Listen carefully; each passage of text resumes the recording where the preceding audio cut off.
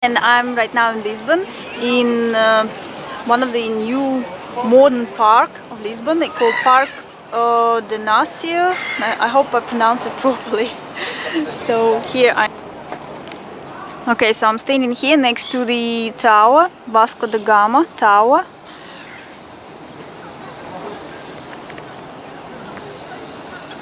And cable car. And also you can see here it's the Vasco da Gama bridge. Very long bridge.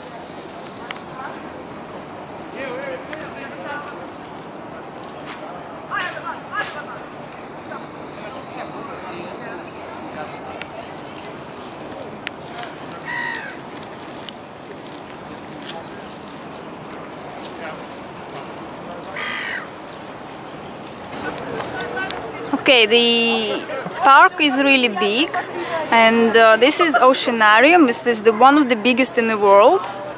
Has many fishes in there, but I'm not going there today because I went in South Africa once and the big Oceanarium was really nice out there. I went in London, so uh, I don't think I'm gonna miss much those fishes. I saw them all, I think. Okay, so here we can see two um, towers. I think it's one of them Gabriel and one of them Raphael. Which one is which I don't know, but they're twins, tower, towers twins. Also we can see there is a shopping center out there, shopping mall Vasco da Gama. About 170 stores there, I think. And here on the right is uh, this um, concert hall where all the stars uh, performing. So it was Justin Bieber was recently in um, on the 12th of March, I think, and then it's going to be Rihanna, Alicia Keys, and Jon Bon Jovi. They're all going to perform here in this place. So, from here again, you can see the tower, and. Um, yeah so many young people in here i don't know maybe it's because it's friday today but it's lots of young people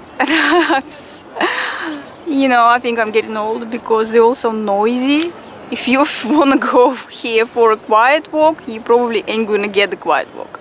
They're very noisy and there's lots of them. I don't think they study maybe they have holidays or anything else i don't know.